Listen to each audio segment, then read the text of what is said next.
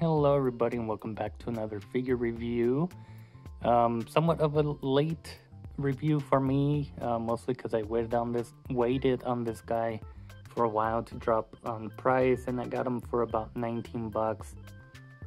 That seems to be the lowest he's going for now, and I'm completely okay with that. Um, he is a character I wanted to, you know, get a hold of and add to my collection to go along with, you know, Iron Fist and, you know, Hasbro being Hasbro, they just recently, you know, revealed and went up for pre-order a new two-pack set um, with Iron Fist and Luke Cage himself, but that Luke Cage has his civilian clothes, which is a good look, um, but I did want this look as well.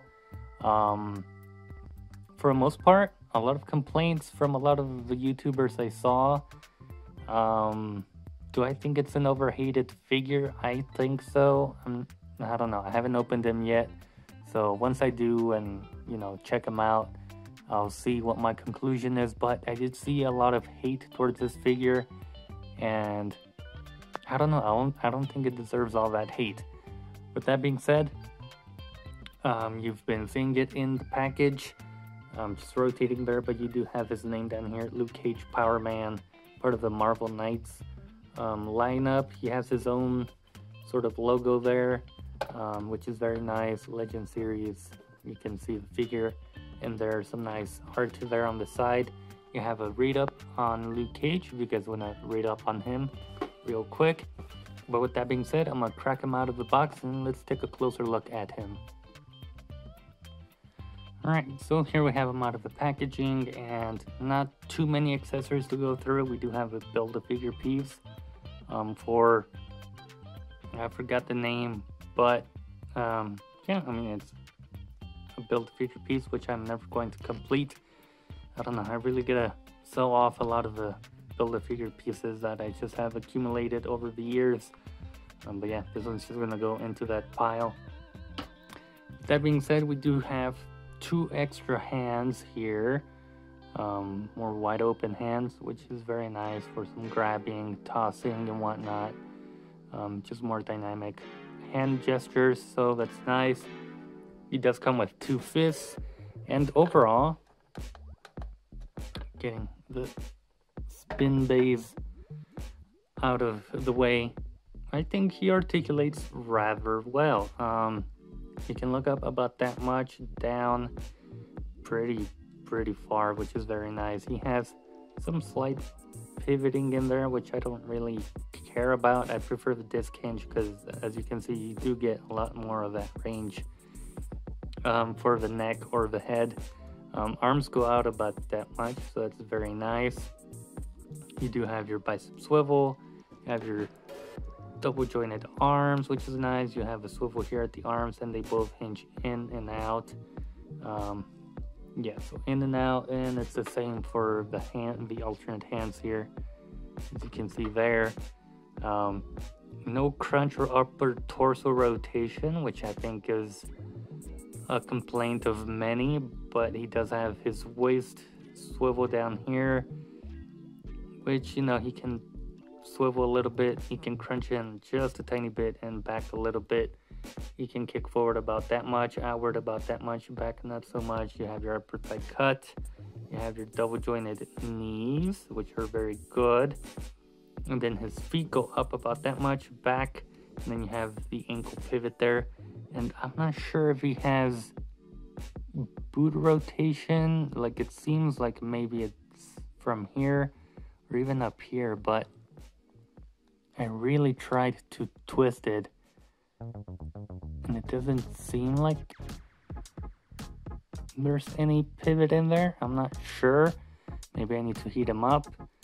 Um, but these are stuck in here. If he does have that boot cut in there, um, they're stuck in mine. So, you know, I'll have to do some heating up um, after the video, which is a bit of a shame.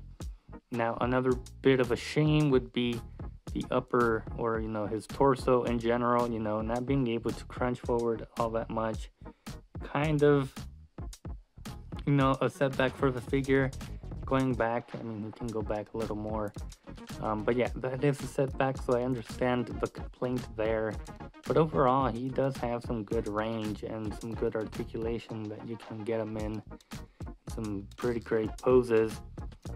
Um, but yeah, the torso I understand, and there was a recommendation by my good friend, your casual clone, was to use an extra body base or base body from a classified figure um, that very early on, uh, first version Roadblock, and swap out that entire torso piece and just put it on, you know, this body, the legs, and the arms.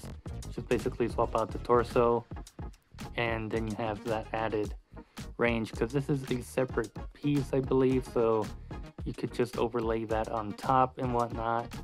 Um, so it's definitely a mod I would consider doing. You know, I'm always afraid of modifying figures because you know they can break and whatnot, but you know, doing it carefully and whatnot, it's something I'm willing to do. Um, I think another complaint was, you know, obviously here, um, the shirt, you know, just has this wide open gap here, which yeah, sure, it looks ugly, but um, you know, I, I don't really pose figures on the side like that. And you can kind of hide it a little bit. Um, but yeah, you can see still see some gaps in there, you know, some seams, which is a bit of a shame as well. But um, other than that, I can't really criticize the figure too much. Um, I do like it. I like how it looks. Um, you know, his head sculpt has some great um, you know, detailing going for it. You have that sort of, I don't know, headband going around. Um, just a nice sculpt, nice hair and everything. Um, another thing with that Roadblock body, I would have to see if the skin tone matches because I'm not good with paint. So, you know, hopefully they do match. I mean, you can even see how the body is sort of different compared to the head sculpt. So, maybe it will be a match. I don't know. I'll have to see. Um, but yeah, overall, he looks great. You have wrinkles and whatnot. I believe a lot of this is kind of a new mold, if I remember correctly. But um, yeah, I can't really hate on the figure too much. I think it did receive a little too much hate. Um, I'm definitely gonna modify the torso down here. You know, cut off some of that excess plastic.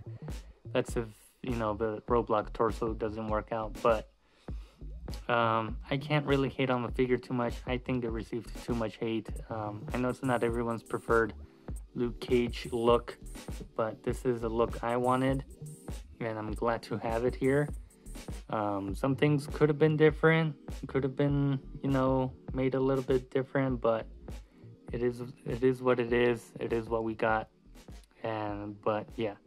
I'm overall pleased with what we got. So what with that being said, I hope you guys enjoyed this review. Let me know what you guys think down below.